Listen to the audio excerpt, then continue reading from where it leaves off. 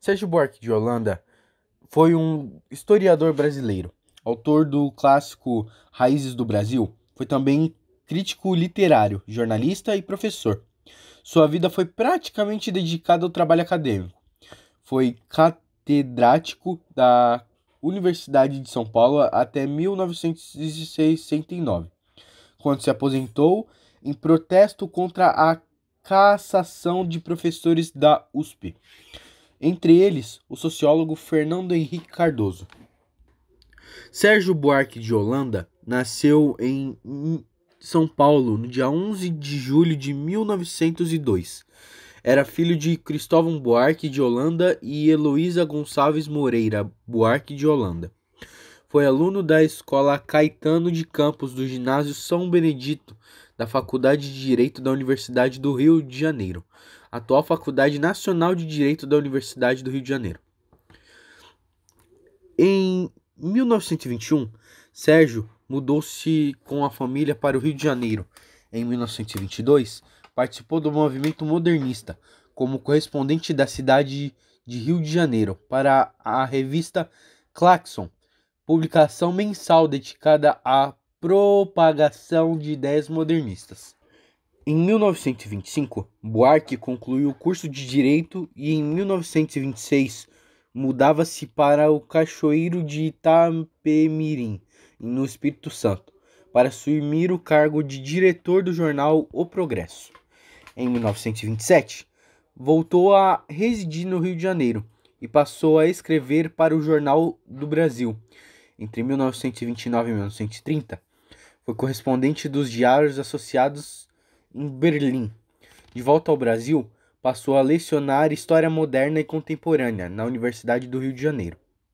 Em 1936, Sérgio Buarque publicou seu primeiro livro, Raízes do Brasil, onde faz a revisão da história do Brasil e destaca as mazelas da vida social e política no país.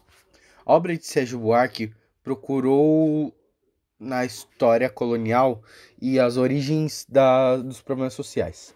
O Brasil colonial é visto como pouca organização social e que desencadeou frequentemente violência e o domínio personalista. Sérgio Buarque desenvolveu as teses lançadas no Ribeiro Couto, que identificava o brasileiro como, como um homem cordial, isto é, aquele que age pelo coração, pelo sentimentalismo, preferindo as reações pessoais ao cumprimento de leis objetivas e imparciais. O livro é considerado um dos mais importantes clássicos da historiografia e da sociedade do Brasil.